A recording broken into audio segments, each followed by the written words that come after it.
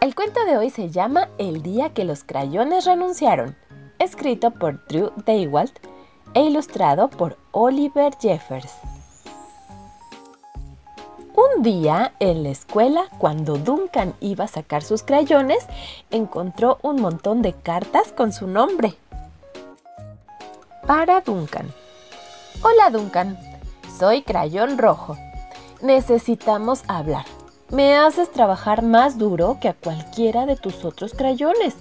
Todo el año me desgasto coloreando camiones de bomberos, manzanas, fresas y cualquier cosa que sea roja. Trabajo hasta en vacaciones. Además tengo que dibujar todos los santas en Navidad y todos los corazones en San Valentín. Necesito un descanso. El más ocupado de tus amigos, Crayón Rojo. Querido Duncan, muy bien, escucha. Me encanta ser tu crayón favorito para las uvas, dragones y sombreros de mago, pero no soporto que mi hermoso color se gaste fuera de las líneas. Si no empiezas pronto a colorear dentro de las líneas, vas a volverme loco. Tu muy ordenado amigo, color morado. Querido Duncan, Estoy harto de que me llamen café claro o color hueso, porque no soy nada de eso. Soy beige y estoy orgulloso de serlo. También estoy cansado de ser el segundón del señor Crayón Café. No es justo que él se lleve todos los osos, ponis y cachorros, mientras que lo único que me toca son dos pavos para la cena si tengo suerte, y el trigo. Y seamos honestos, ¿cuándo fue la última vez que viste a un niño emocionado por pintar trigo? Tu amigo beige, crayón beige. Duncan, soy crayón gris. Me estás matando. Sé que amas a los elefantes y que los elefantes son grises, pero es demasiado espacio para colorearlo todo yo solo. Y ni qué decir de los rinocerontes, hipopótamos y ballenas jorobadas. ¿Sabes lo cansado que termino después de rellenar esas cosas? Animales tan grandes. Los pingüinos bebés son grises, ¿sabías? También las piedritas. ¿Qué tal si pinto uno de esos de vez en cuando para descansar? Tu exhausto amigo, crayón gris. Querido Duncan, me usas para colorear, pero ¿por qué? Casi siempre soy del mismo color de la página en lo que me usas, blanco. Si en mi etiqueta no hubiera una raya negra, ni me notarías que estoy ahí. Ni siquiera aparezco en el arco iris.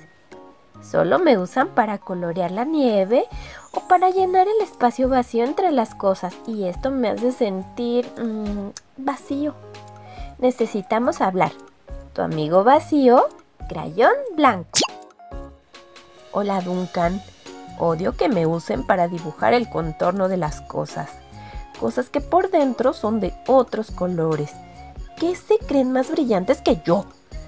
Justo que me uses para hacer el contorno de una bonita pelota de playa y que después la rellenes con los colores de todos los demás crayones.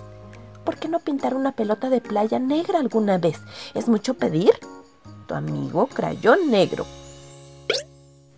Querido Duncan, soy Crayón Verde y te escribo por dos razones.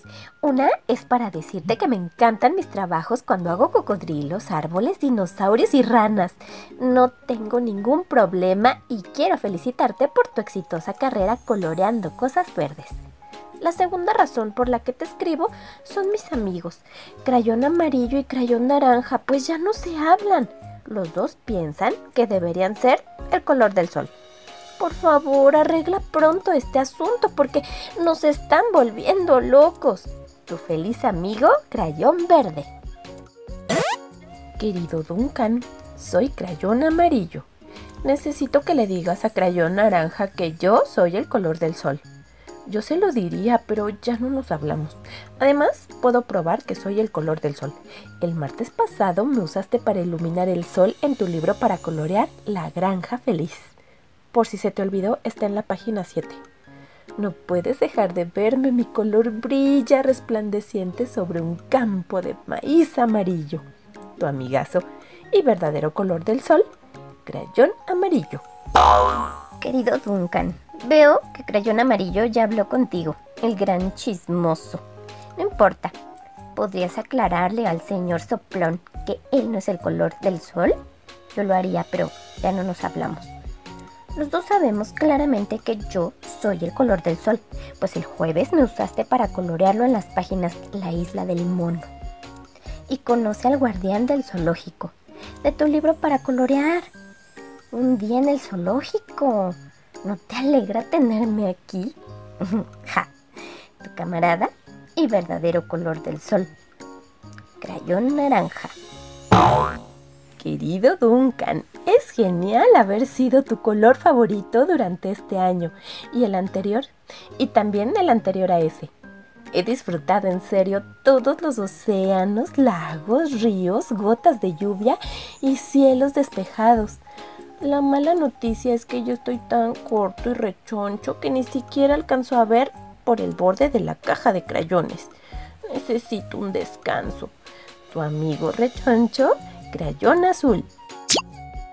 Duncan, escucha niño, no me has utilizado ni una sola vez en el año. Es porque crees que soy un color para niñas, ¿verdad? Hablando de eso, por favor dile a tu hermanita que le agradezco por usarme en su libro para colorear una linda princesa. Pienso que hizo un trabajo fabuloso sin salirse de la raya regresando a lo nuestro, ¿podrías por favor usarme de vez en cuando para colorear algún dinosaurio, monstruo o, vaquero rosa? No les caería mal un poco de color.